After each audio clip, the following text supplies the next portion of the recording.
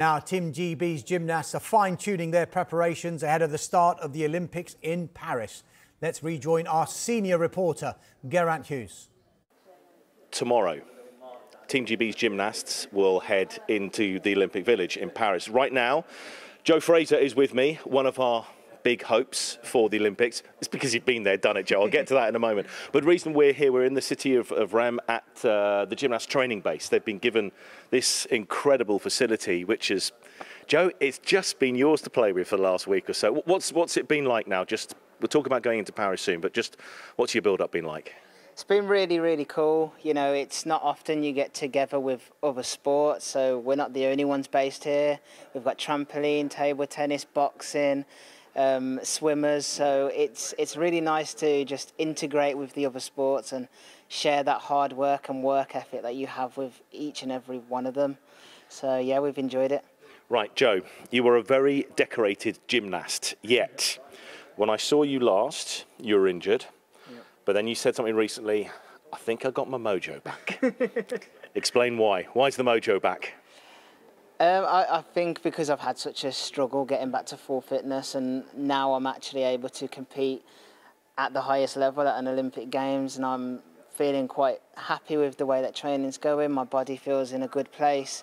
So I'm really excited to just give my all into the competition, soak up every moment, find my parents in the crowd, and yeah, just experience it all more than we were able to in Tokyo. Well, you couldn't really experience much in Tokyo at all, could you? you to, we'll come back to that experience that you're hoping you know, to feel in Paris, but you've got a job to do, and you don't get on this team unless you're good. That's just the way Team GB is the, these days. What do you want to achieve at these games? For me, there is so much we want to achieve. You know, as a team and individually, we know we have got lots of opportunities to make some success. Um, you know, we've got the most decorated British gymnast of all time within our team, and this is his final games, and we want to be a part of that legendary moment. So I'm sure all of us will be giving our all on that competition day, as as I will. Um, there's lots of individual apparatus that we have some, you know, huge contenders for.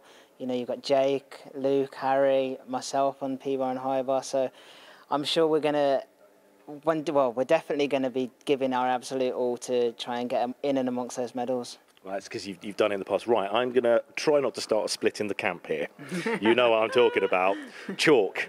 Max Whitlock says you are a nightmare when it comes to the use of chalk. Is he correct or is Max Whitlock wrong? If I'm honest, I probably have to agree, but no, there's no. He stitched you up, hasn't he? yeah, I'm not going to lie, there's no but. Uh, I definitely use a lot of chalk, and I'm very particular with the type of chalk that I use.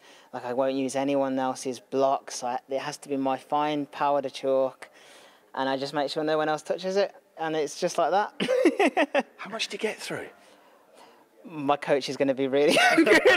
I get through too much, to be honest. Um, I think I make more of a mess than I do put it on the bars. But yeah, especially with it out here, it's been really hot. So your hands sweat much quicker than usual. So I've been getting through a lot more out here. But luckily, I brought a second bag of chalk just for that occasion. Great stuff. Right, just explain now, going into Paris tomorrow, into the Olympic Village. So new bed, new room, new environment.